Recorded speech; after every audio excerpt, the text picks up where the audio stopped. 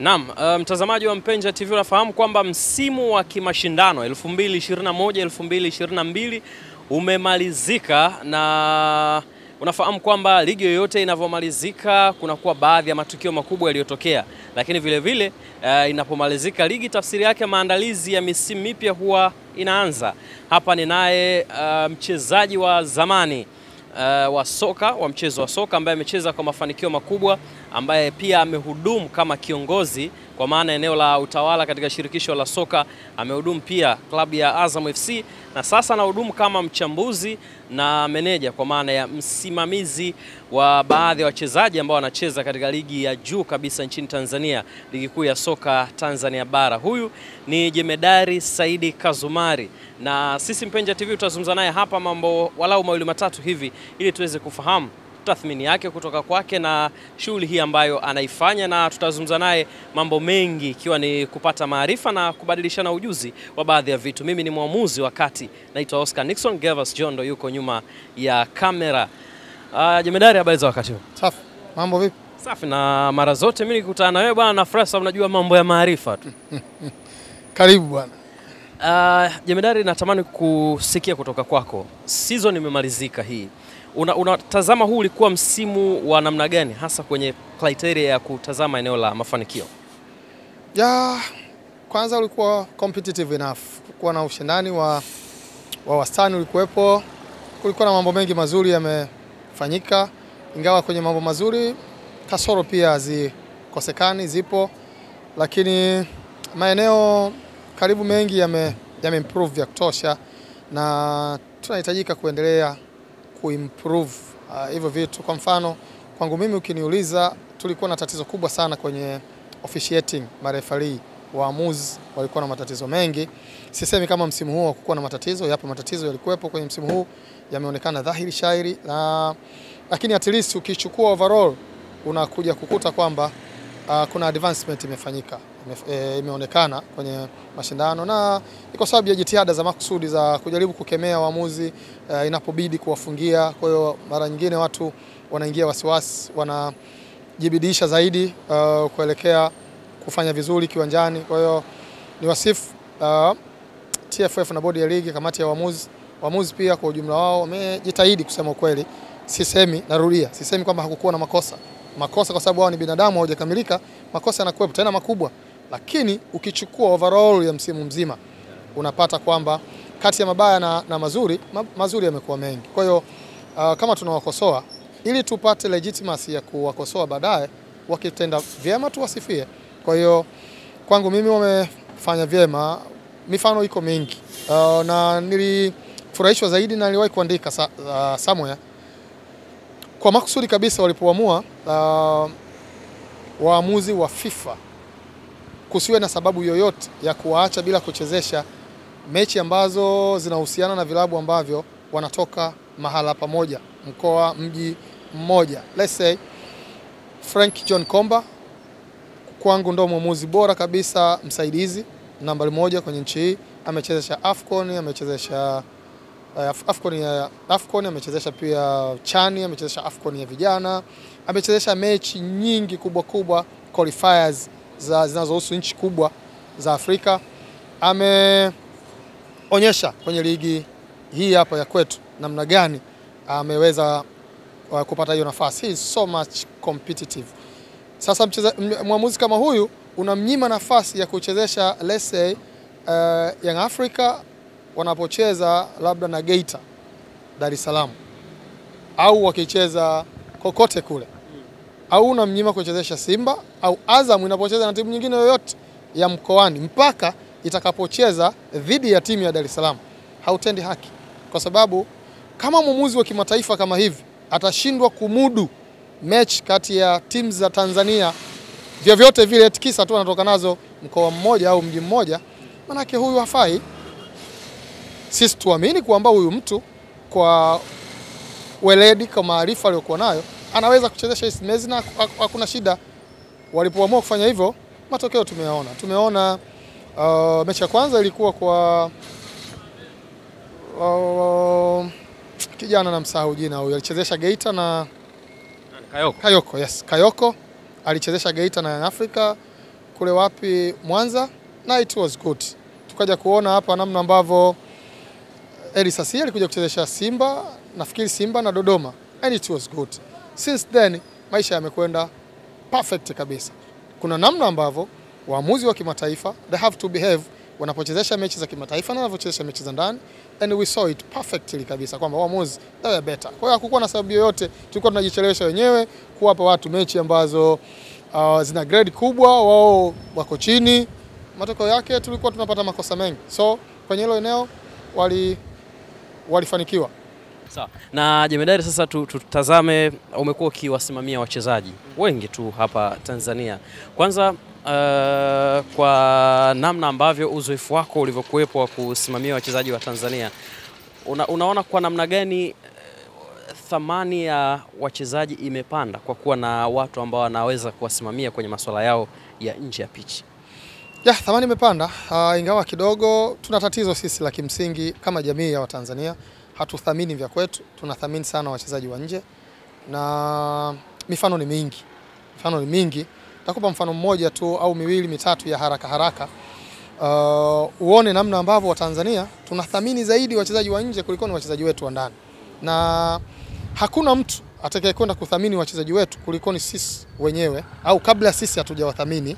Yes, na sitaki kukataa kwamba inawezekana wana matatizo wachezaji wachezaji hao tunawazungumza. Yes, wana matatizo, lakini hata hao wa nje wana matatizo, lakini tunawathamini zaidi wao kuliko ni wachezaji wetu wa ndani.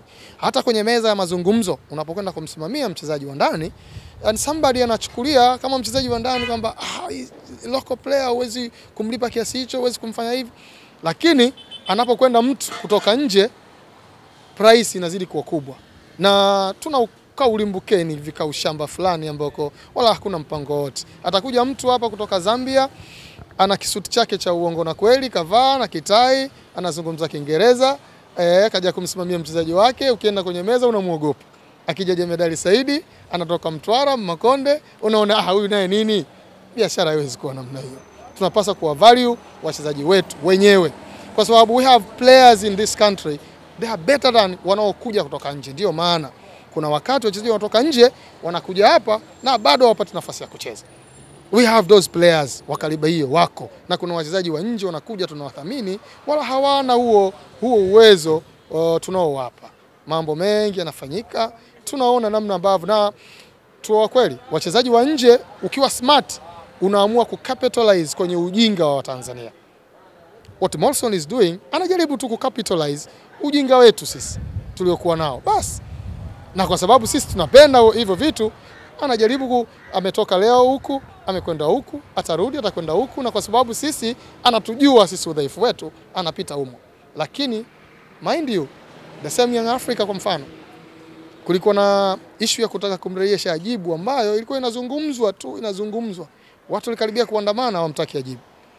Leo wamelazimishwa kumchukua Morrison, na kuna watu walitoa viapo kuhusu Morrison, lakini Morrison ametangazwa Simply kwangu mimi ni ulimbukeni, ni kwa sababu anatoka nje, watu wanamthamini kwa sababu atazungumza Kiswahili kidogo, ataongea na Kiingereza, lakini kwa maana ya, ya nidhamu inawezekana ni mtovu wa nidhamu kulikoni baadhi ya wachezaji ambao waliwaacha wapo. Kwangu mimi hii ni sehemu ya ulimbukeni, sababu tunathamini zaidi wachezaji wa nje kulikoni. Uh, kulikuwa na mjadala hapa mkubwa, kisa tu George Mpole. Kuna waandishi wa habari vijana walijipanga wakasema, anyway, hatujawahi kuwa na mchezaji Mtanzania aliyekuwa mfungaji bora, lakini akitokea kwenye kilabu kidogo kabisa. Daraja la kati, klabu kilichopanda daraja, kwa mfano kama kilivyokuwa Geita.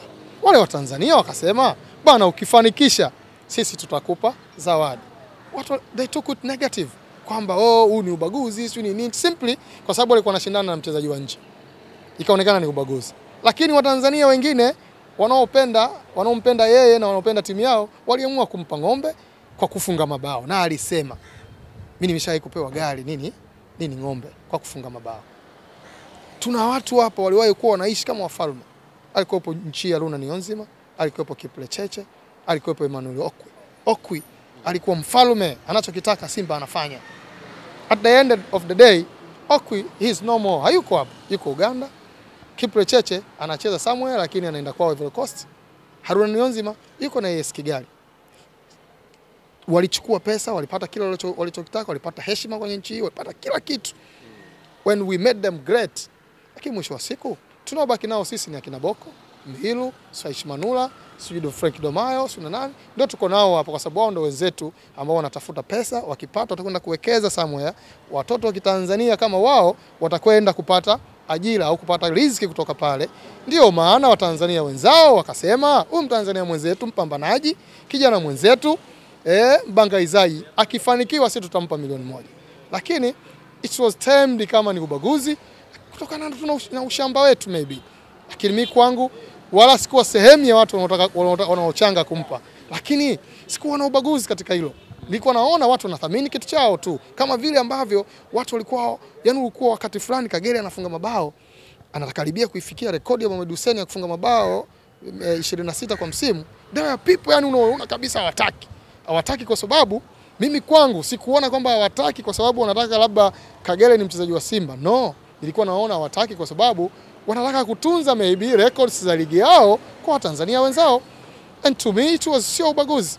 That was just uzalendo kwangu mimi. Lakini unajua kuna watu tuna, tumekubali watu wapuuzi watuelekeze mambo ya, ya, ya kitaalamu au ya, ya, ya, ya msingi, na wanapozungumza upuuzi, sisi wengine tuna kazi ya kufuata upepo tu. Eh, kuna mpiga zumari mbele, nyewe mnafuata tu, lakini hata akili yako huwezi kutumia. Kwa hiyo kwangu mimi hivi vitu vya mchezaji wa nje sio nini na wachezaji wa ndani, ukienda kwenye meza ya majadiliano na kuambia, kwa sababu mimi nimekaa kwenye meza za majadiliano za vilabu vyote, nimewahi kukaa na Azam, nimewahi kukaa na Simba, nimewahi kukaa na Young Africa, nimekaa na Kagera, nimekaa na KMC. Najua namna wachezaji wa ndani wanavyopewa thamani ndogo kuliko ni wachezaji wa nje. Tuachane na huu ushamba. Ligi za wenzetu wachezaji wa ndani wana thamani kubwa pia. Yaani mchezaji wa ndani kwa mfano kwenye nyakati watu wanasikia ah, huyu Ferdinand maybe amesajiliwa kwa hela hizi zote kwa sababu tu Mtanz- ya, ni, ni Mwingereza eh, ndo alikuwa beki ghali wakati ule anapewa. Kwa nini unafanya? They are just trying to value their players.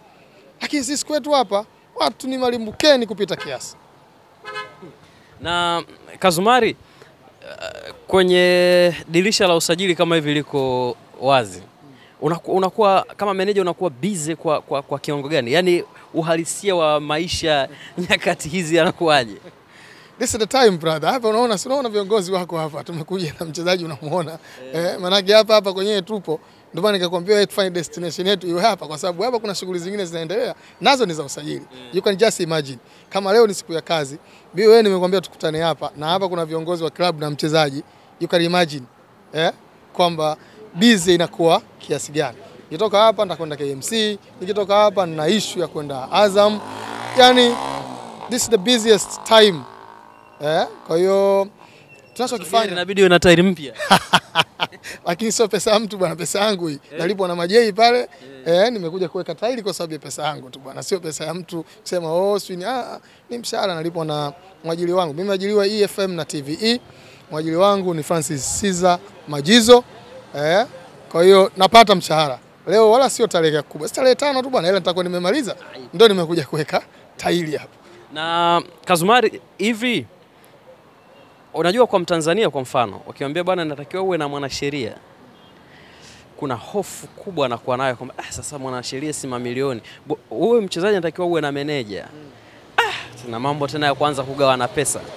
Una, una, una, una, kwa namna ambavyo unafuatilia, unadhani tumefika nusu ya wachezaji ambao wana wa, wa, wana watu wa kuwasimamia? Ya hofu, hofu ni kitu kibaya sana, lakini pia uelewa kidogo kidogo tunaenda, watu wana, wanaendelea ku, kubadilika.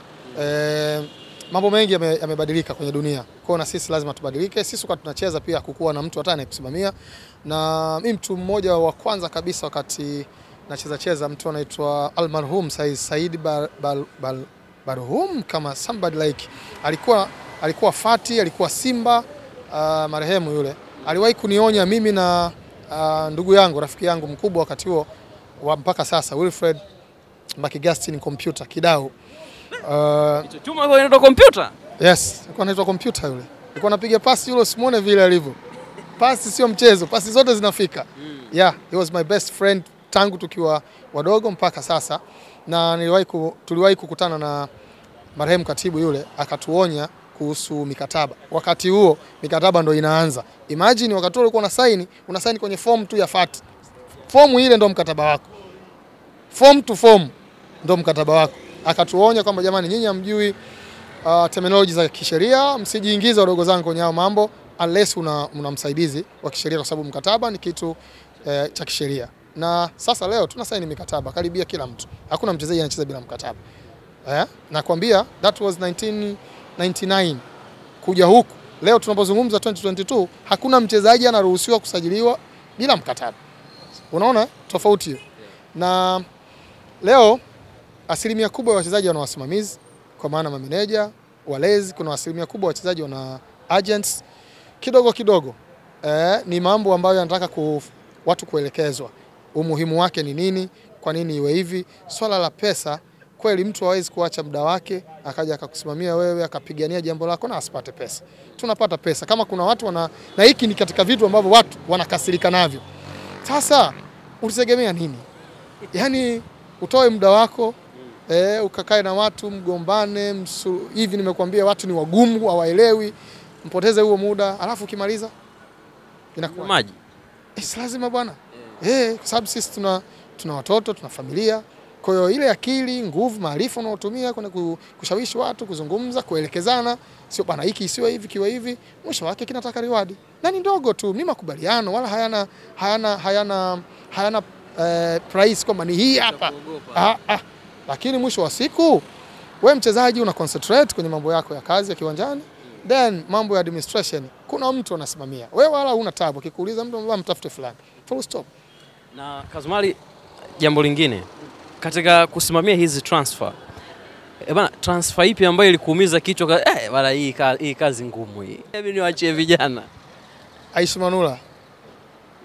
Hii. Sasa unazungumza ya zamani au mpya ya sasa hivi, dili jipya? Mpya. Kwaje kwaje? ngumu na mambo mengi. Unajua uh, profile ya goalkeeper imeongezeka, amekuwa one of the best among the best uh, 10 best goalkeepers in, in, in the continent. Aishi yupo sasa. Unapojaribu kuwaonyesha watu huyu ni mchezaji wa kiwango hichi na hii ndio value yake halisi, watu hawaitaki wanaona tu kwamba "Ah, ah, sio hivyo. Sio hivyo vipi? Facts ni hizi hapa, huyu ndio yuko hivi na thamani yake sasa ni hii. Ilikuwa ngumu. Mwisho wa siku imewezekana. Alhamdulillah, alhamdulillah e, imewezekana na atatangaza timu yake mpya. Ni kazi ya yeye na timu yake mpya kutangaza. Mimi jukumu langu nimeshafanya, nimemaliza. Kwa hiyo timu mpya na yeye mwenyewe watatangaza kwamba bwana, tumekubaliana na timu fulani, imekuwa hivi, imekuwa hivi. So mimi sihusiki tena hapo, mimi nishamaliza. Wewe umemaliza, lakini dau lake anaweza kuwa ndo uh, goalkeeper ambaye anakwenda kuwa analipwa mshahara mkubwa zaidi, au unaweza ukaunganisha kwamba mchezaji analipwa mzigo mrefu zaidi kwenye ligi yetu. Siwezi kusema kwa sababu sijui mishahara ya wachezaji wengine au magolikipa wengine, lakini mimi nicho nachokiangalia si kwenye wachezaji wangu, sikiangalii fulani analipwa nini sana, naangalia mchezaji wangu anapata nini na thamani yake iliyokuwepo kwa wakati huo, ndio kitu kikubwa. Ameperform, alikuwa analipwa hiki, yani wewe hata kama ikibidi umlipe mara kumi ya kile alichokuwa analipwa kwa sababu ya performance, you have to pay. Mimi sijali fulani analipwa nini. Mchezaji wangu anapaswa kulipa nini na kwa performance aliyokuwa nayo, kwa sababu there are times mchezaji pia unaenda unabembelezana na watu kwamba wanaokuambia ah, lakini si umeona bwana achezi afanye nini haja perform, inabidi wewe uwe mpole sasa. Sasa mchezaji akiperform, that's your time, kwa sababu unakuwa na negotiation power ya kwenda kukaa kwenye meza uka negotiate. Alafu kitu kingine kinachokuwepo ni kwamba kunakuwa na timu zingine pia zinasema bana, vipi hapo vipi hapo, kwa ukienda kwenye meza unakuwa Boston. Sawa, na hapo hapo tukiwa tumesalia hapo hapo Kazumari, uh, tumegusia namna ugumu wa kuwasimamia wachezaji na nini, kwamba kuna kwa ugumu, kuna ugumu umewahi ku kumbana nao, achilia mbali wa Manula, ugumu positive, ugumu ambao uko chanya zaidi, lakini kuna ugumu ambao pia uliwahi kupata, yani ukasema eh, sasa hili lilipanga hili limekaa mezani bwana, hiki hiki hiki hiki, baadaye. Namba unayopiga haipokelewi kwa sasa. Actually mimi wachezaji naoishi nao naofanya nao hayo majukumu hatujawahi uh, ku, kufikia tupokeleani simu au simu hazipatikani, haijawahi kufikia, isipokuwa unajua kazi yoyote ina, ina ugumu ina ugumu kwa sababu tuna, tunafanya, tunafanya kazi na viongozi. Viongozi wengi wa mpira wa Tanzania ni zao la ushabiki, wengi ni mashabiki. Uh, na shabiki ana, ana, ana, ana tabia ya kupenda na kuchukia.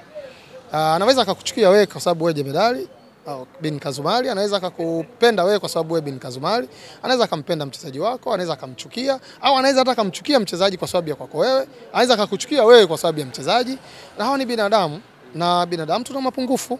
Kwa hiyo hata mimi na mapungufu yangu, kwa hiyo hutaki kuwa laumu sana, lakini unaona ni sehemu ya ubinadamu, wanatimiza ubinadamu wao, lakini kwako wewe kwenye kufanya kazi inakuwa ni inakuwa ni, ni, ni, ni, ni, ni tatizo kidogo, sio?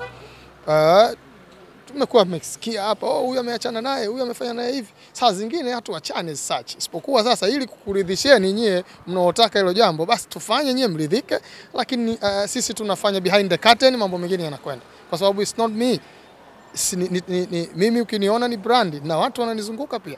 Kwa hiyo sometimes wewe unaweza kaona umeniwini, lakini behind the curtain sisi tunaendelea na shughuli zingine. That's how life is.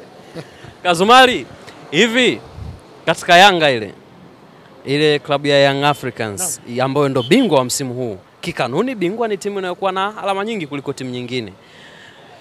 Performance wise, umeona kitu gani ambacho Yanga ukasema ah, Yanga tofauti na ile ya kina Ikpe everything wame develop kutoka misimu yote iliyopita minne mpaka kufika sasa. This is the best young African squad wamekuwa nayo kwa miaka misimu mitano, na ndio maana country uh, kwenye nchi wameweza kuperform wakapata, wakapata kikombe ki, wanavyocheza kiwanjani, determination yao, display ya mchezo, they were better, ndio maana wameweza kushinda. Mimi hii ni timu ya Yanga bora kwa miaka mitano iliyopita. Kwa hiyo sina cha kuongeza. Akina Ikpe you can't match them na, na, na kina Mayele you can't. Wakina Lamine Moro you can't match them na kina Bangala kwenye eneo la ulinzi you can't.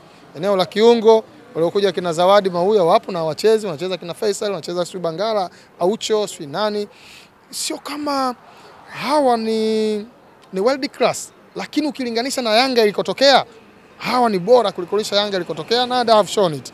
Unaweza ukataka kumweka Aucho sasa kwenye level sasa ya kushindana na wachezaji wengine in the continent ni mashindano ya, ya, ya klabu bingwa, then utapata mapungufu yake, utayaona tu. Sisemi kwamba yani ana uwezo kiasi kwamba Young Africa wanakwenda kucheza uh, quarter finals. No, no, no, no. Wanatakiwa wafanye, wafanye, wafanye usajili, lakini they've shown credit to them, wamefanya huku na wameonyesha kusema ukweli 100% wanastahili kile walichokipata.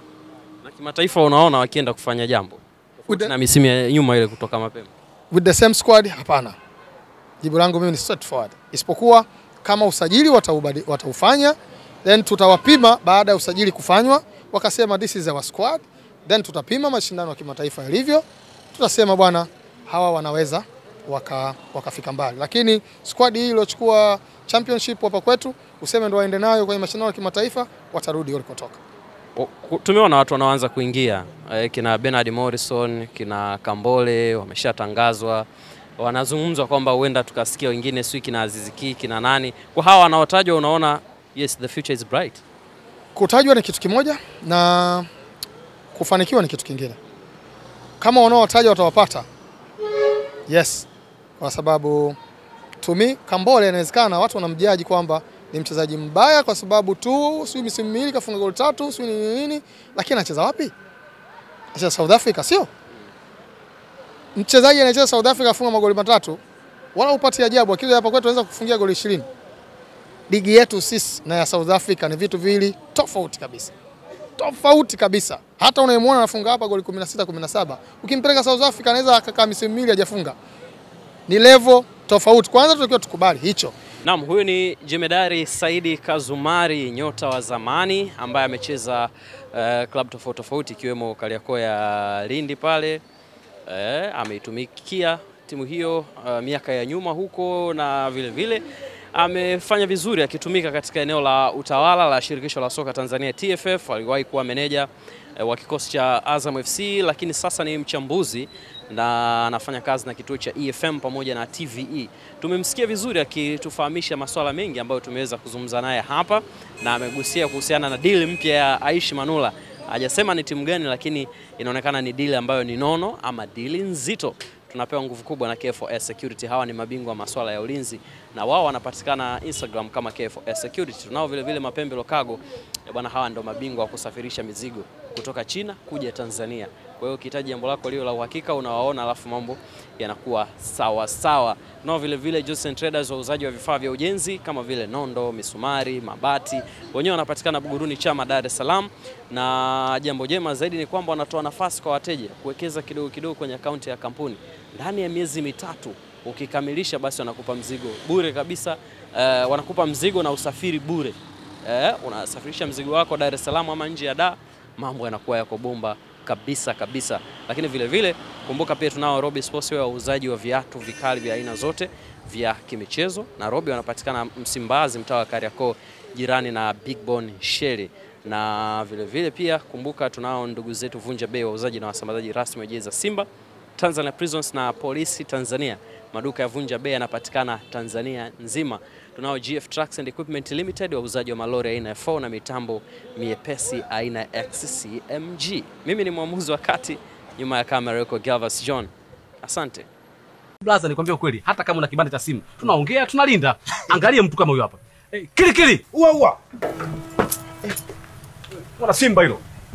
Hii ndo K4S Kili kili. ua ua. Hii mashine ya kazi zipo nyingi kama hizi. Mimi namtaka huyu. Ah, sio huyu tu, wako wengi kama huyu, na wengine wana uwezo mkubwa kuliko hata huyu. mm. Na, na sisi mara nyingi tunatumia vifaa vyetu kama unavyoona. Tunatumia rungu, ehe, tunatumia ah, tunatumia pingu, eh, na pia tunatumia e, eh, filimbi kutoa taarifa. Lakini pia kumbuka kabisa tunatumia vifaa vizito. Eh, mabomu ya kurusha kung'ata na mijegejo ya Arnold Schwarzenegger. Bosi, Eh? au ni mwanisha Ah, batani. ah, utaua ah, ah, ah. Na hii yote kutokana nini? Hao wamepitia mafunzo mbalimbali, yaani mafunzo yote wamepitia mgambo na JKT. Ina maana wako imara kama Simba, yaani K4S ni imara kama Simba, Simba. au kama chuma. Karibu sana, karibu sana. Kili kili. Eh, ua ua. Mbona balaa hilo? Kili kili. Eh, Panda juu. au nikamnyoshe. Ah, ah, wewe, ah, ah, wewe.